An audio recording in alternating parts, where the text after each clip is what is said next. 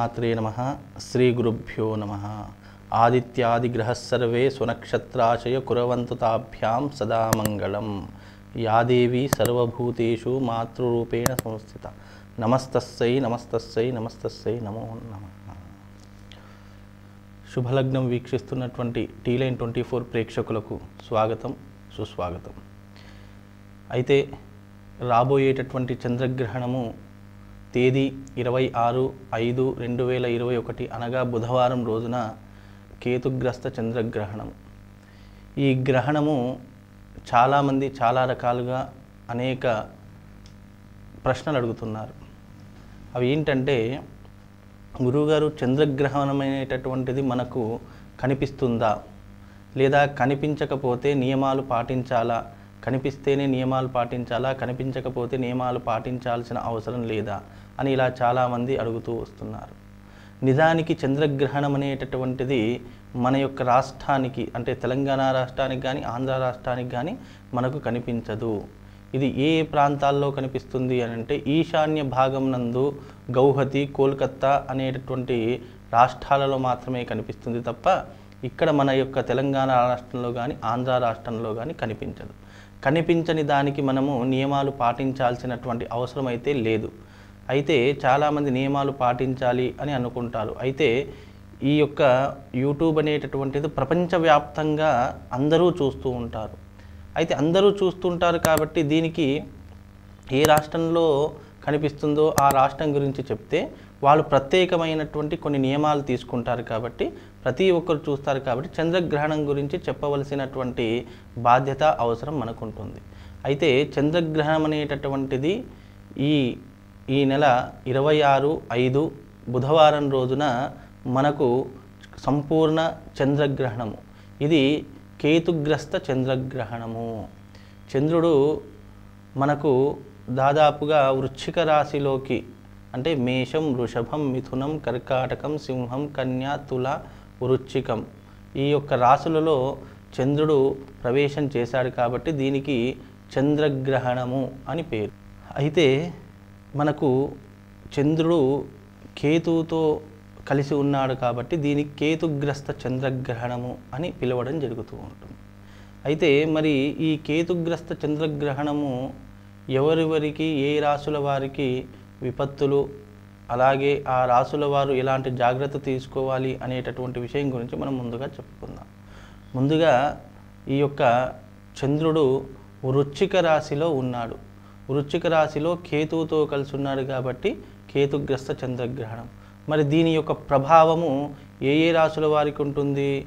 మేషరాశి వారికి. అదే రకంగా దీనికి మేషరాశి వారికి ఉంటుంది.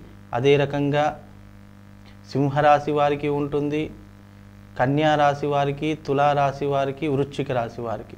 ఈ ఐదు రాశుల వారికి దీని యొక్క ప్రభావం అనేటటువంటిది చాలా తీవ్రంగా ఉంటుంది. కనుక వీరు తీసుకోవలసినటువంటి జాగ్రత్తలు కొన్ని ఉంటాయి. అవి ఏమిటంటే బయటకు వెళ్ళకుండా ఉండాలి వీలైనంత వరకు. చంద్రుడు మనక్కారకుడు చంద్రమా మనసోజాత చక్షో సూర్యో అజాయత. చంద్రుడు మనక్కారకుడు కాబట్టి ఆ రోజు అనవసరమైనటువంటి తీవ్రమైనటువంటి మనస్తాపానికి గురి కావడము లేదా మనసు నొప్పించేటటువంటి కొన్ని సంఘటనలు వినడము లేదా మనసు ప్రేమకు కూడా చిహ్నమే అంటారు. అయితే ఈ మనసు ఇతరులపై వ్యామోహం చెందడము ప్రేమ కలాపాలు ఎక్కువగా సాగించడము ఇలాంటివి ఎక్కువగా జరిగేటటువంటి అవకాశాలు ఆ రోజున ఉంటాయి. కాబట్టి అవి నెగిటివ్ వైబ్రేషన్స్ని ఎక్కువగా వదులుతూ ఉంటుంది. ఈ యొక్క చంద్రుడు అనేటటువంటి వాడు షోడశ కళ్ళకు కారకుడు చంద్రుడు. అలాంటి సమయంలో మనకు ఆ చంద్రుడు యొక్క కిరణాల వల్లే ఔషధ సేవలు అదే రకంగా భూమిపైన అనేక విధమైనటువంటి ఈ ఔషధ ఔషధానికి సంబంధించినటువంటి కొన్ని వ్యవహార కార్యక్రమాలు ఆ రోజున ఎక్కువగా జరుగుతూ ఉంటాయి. ఎందుకంటే పౌర్ణమి రోజున ఎక్కువగా ఔషధాలు సేవిస్తూ ఉంటారు. అంటే చాలామంది చాలా చోట్ల ఈ పౌర్ణమి వచ్చింది అని అంటే పిల్లలు పుట్టడానికి అదే రకంగా వివాహం జరగడానికి అదే రకంగా ఔషధాలు తీసుకోవడానికి ఇలాంటి పనులకు ఎక్కువగా ఈ యొక్క పౌర్ణమిని వాడుతూ ఉంటారు. ఆ రోజున గ్రహణము కాబట్టి అలాంటి పనులు చేయకుండా ఉంటే చాలా బాగుంటుంది. ఎందుకంటే ఆ సమయంలో ఔషధ సేవన చేసుకుంటే ఆ రోజు ఆ రోజున కొన్ని ఇబ్బందులు జరిగేటటువంటి అవకాశం ఉంది కాబట్టి అలాంటివి చేయకుండా ఉంటే చాలా బాగుంటుంది. ముఖ్యంగా గర్భిణీ స్త్రీలు బయటకు వెళ్ళకూడదు. ఎందుకంటే ఆ రోజున ఈశాన్య భాగంలో చంద్రగ్రహణం కనిపిస్తుంది. అది కేవలం కూడా కేవలం ఒక ఐదు పది నిమిషాలు మాత్రమే కనిపిస్తుంది. కాబట్టి అది ఆ భాగంలో కనిపిస్తుంది కాబట్టి ఈశాన్య రాష్ట్రంలో మనం ఇక్కడ పాటించాల్సినటువంటి అవసరం లేదు. కాకపోతే దాని యొక్క ప్రభావం కిరణాలు అనేటటువంటివి ప్రపంచవ్యాప్తంగా పడతాయి కాబట్టి ఆ యొక్క చంద్రుని యొక్క కిరణాలు అనేటటువంటివి భూమి మీద ప్రసరించేటప్పుడు కొన్ని కొన్ని ఇబ్బందులు అంటే నెగిటివ్ ఫోర్స్ని నెగిటివ్ కిరణాలని అది వదులుతుంది కాబట్టి దానివలన కొన్ని ఇబ్బందులు కూడా వచ్చేటటువంటి అవకాశము ఉంటూ ఉంటుంది. కాబట్టి ముఖ్యంగా గర్భిణీ స్త్రీలు ఎవరైతే ఉన్నారో వారు ఇంటి నుండి బయటకు రాకుండా ఒకే దగ్గర కూర్చొని ఉండడం చాలా ఉత్తమము.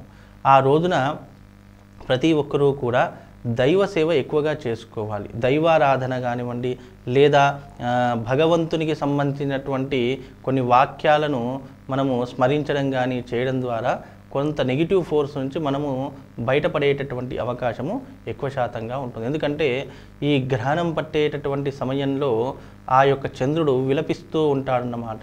అలా విలపిస్తూ ఉన్నప్పుడు భగవంతుని యొక్క ఆరాధన చేయడం వల్ల అదే రకంగా భగవంతుని యొక్క నామస్మరణ చేయడం వల్ల కొంతవరకు మనకు ఉపశమనం దొరుకుతుంది కాబట్టి దాని యొక్క లక్షణాలు ఆ యొక్క భగవంతుని యొక్క ఆరాధన వల్ల తగ్గుముఖం పడతాయి కాబట్టి ఆ రోజున ముఖ్యంగా మనము చేయవలసినటువంటి నియమాలు ఏంటి అంటే హనుమాన్ చాలీస పారాయణం కానీ లలితా సహస్రనామ పారాయణం కానీ లేదా మీకు ఇష్టమైనటువంటి దైవారాధన ఏదైనా సరే చేసినట్టయితే కొంతలో కొంతవరకు మేలు జరిగి మీరు ఒక ఉన్నతమైనటువంటి ఒక దైవారాధన చేసినటువంటి వ్యక్తులుగా ఉంటారు.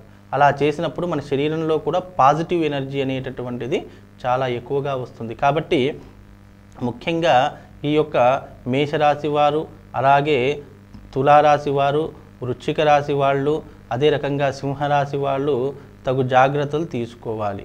ఎందుకంటే ఈ రాశుల వారికి ఈ యొక్క గ్రహణ ప్రభావం ఎక్కువగా ఉంటుంది కాబట్టి జప తప హోమాదులు చేసుకున్నట్టయితే కొంతవరకు మీ యొక్క జీవితంలో కొన్ని ఇబ్బందుల నుండి తప్పించుకున్న వారవుతారు కాబట్టి ఈ చంద్రగ్రహణం అనేటటువంటిది మన తెలంగాణ అదే రకంగా ఆంధ్ర రాష్ట్రాలకు కనిపించదు కాబట్టి అది కేవలం ఈశాన్య భాగంలోందు కోల్కత్తా గౌహతి ఈ యొక్క ప్రాంతాల వాళ్ళకే కనిపిస్తుంది కాబట్టి మనం ఇక్కడ నియమాలు పాటించాల్సిన అవసరము ఎలాంటిది లేదు. కనుక మీరు ఈ నేను చెప్పినటువంటి రాసులు ఎవరైతే ఉన్నారో వాళ్ళు కొద్ది వరకు జాగ్రత్తలు తీసుకుంటే సరిపోతుంది.